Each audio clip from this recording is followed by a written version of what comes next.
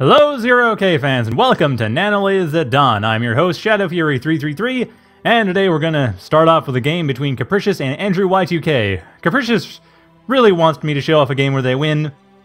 I, of course, do not pre-screen games, so I have no idea whether or not they're going to win, but I figure eventually they're to win. So I'll cast a couple of their games today.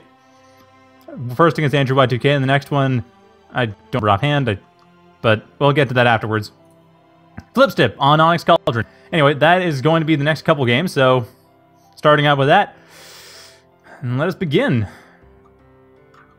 So, Andrew Y2K going for Cloakybot Factory, while, sorry, Capricis is going, actually both of them are, so that was correct despite me not looking at the right player.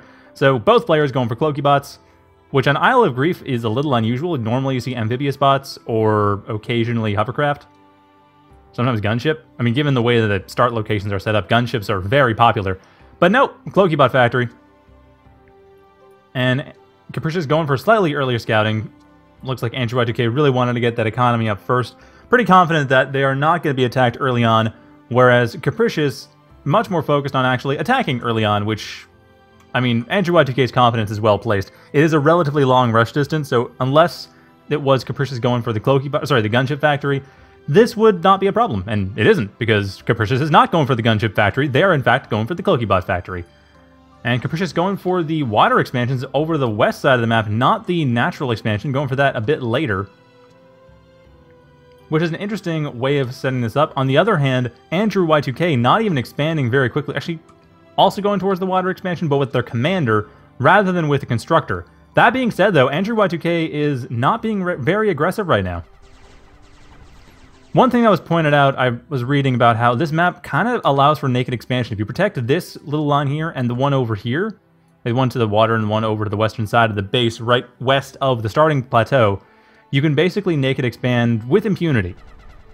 However, only Andrew Y2K has taken advantage of that, and honestly, I wouldn't say with impunity. This glaive, if Capricis is checking to make sure that the expansion over to the southwest does exist, which it does not, if they checked the main base, though, they'd actually they'd actually have had a really good shot at taking out Andrew Y2K's economy, but now it's too late.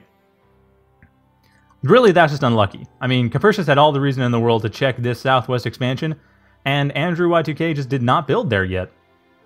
On the other hand, Capricis sending in a larger army from the western side, probably going to have to punch through, no, won't be hard to punch through those glaives, but their own attacking glaive, Capricis losing that, Ouch. I mean, like I said, that was just unlucky that they didn't attack the main base when they did. That Capricis had not, sorry, Andrew Y2K had not set up the southwest. They're going instead for the southeast. At the same time, though, Capricis does have a stronger economy. They have more expanders going out. They have their expansions already set up. And they have a bit of a stronger army to defend it. Although, right now... Oh, did Capricis see this? They did!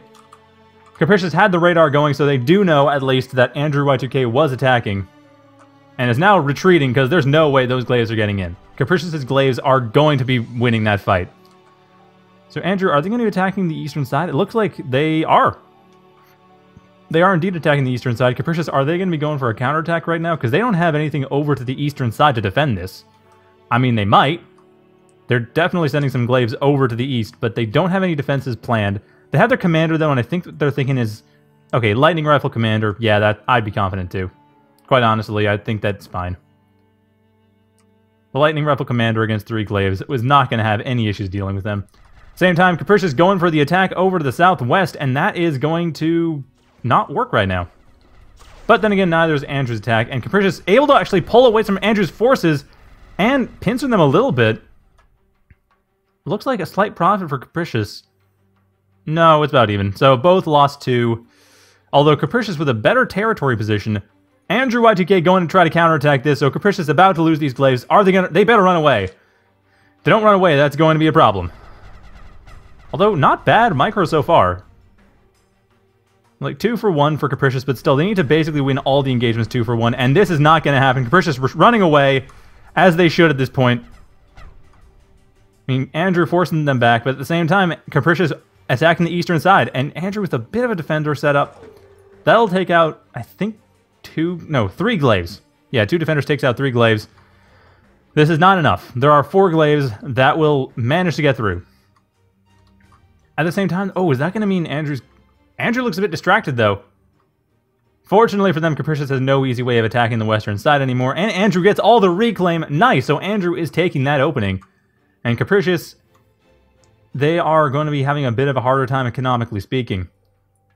Looks like both players switch over to Warrior simultaneously. Neither one going for Rockos, neither one trying to basically read the Warriors and attack them. No, instead, Mass Warrior, just straight transition. She Warrior Zeus in both cases, too.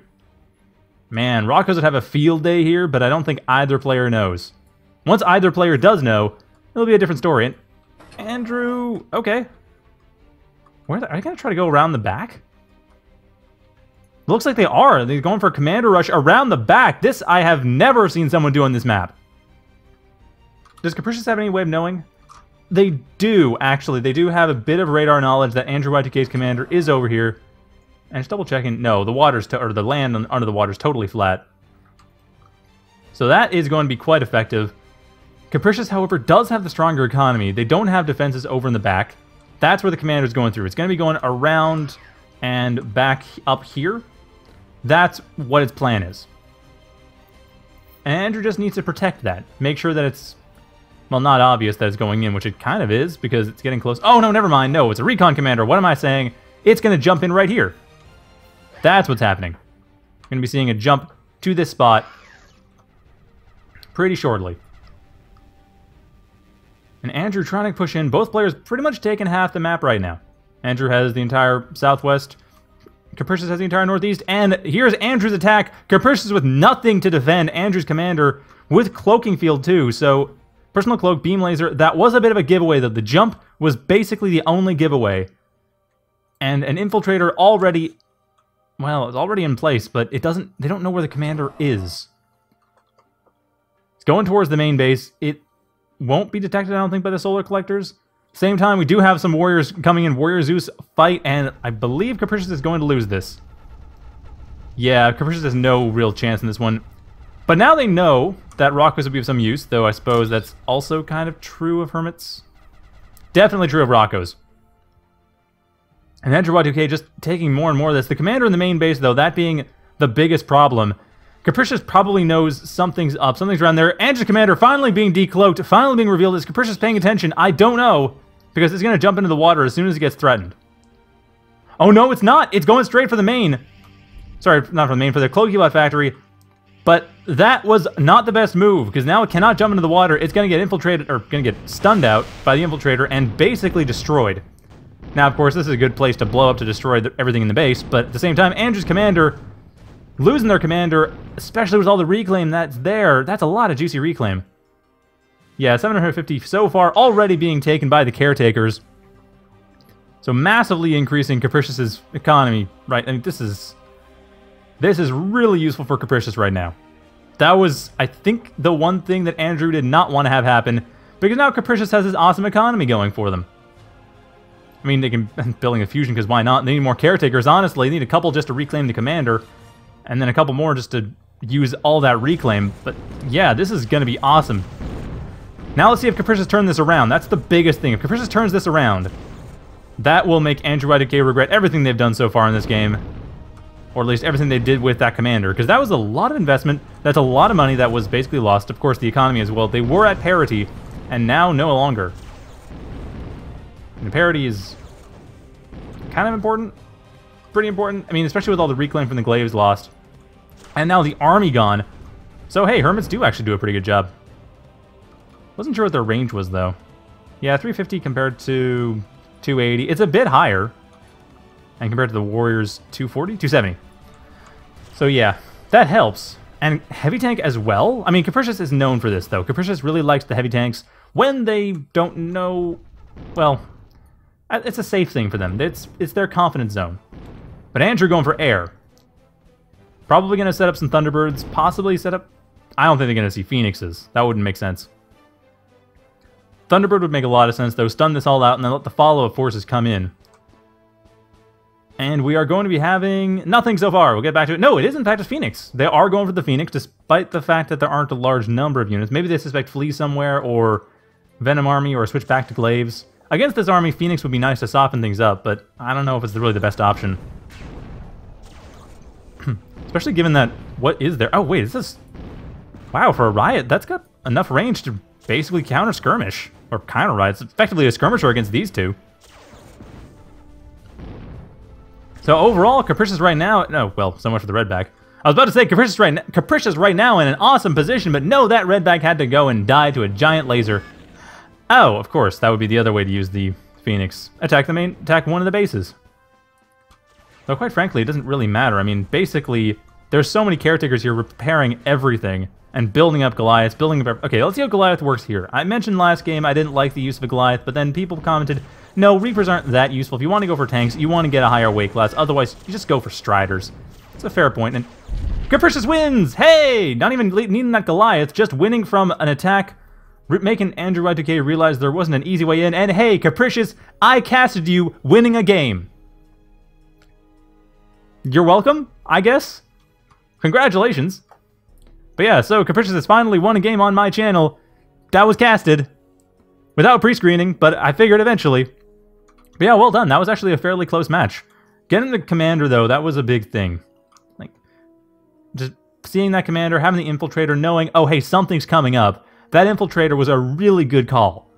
Because then the commander just went down no problem. And after that, everything was just a matter of essentially steamrolling I mean, between the Hermits tanking everything and the Redbacks for a bit of extra damage, and then on top of that, of course, the standard Cloaky Assault Force, basically, we didn't even see the Goliath come out. That would have definitely sealed things in that situation, most definitely, but yeah. But anyway, as I was mentioning before, in the other game on Altair Crossing, apparently the Goliath was actually a pretty good choice, and it generally is a good choice. Partly, like I said, it's a weight class thing. There's no point getting Reaper Banisher if you just use what you already have in your factory so far. But also, the Goliath, it's just more a matter of making sure it stays back enough that it gets its shots off. But in that situation, given all the hills, it was hard. This situation, though, flat ground, open area, a lot of units that could just go down easily.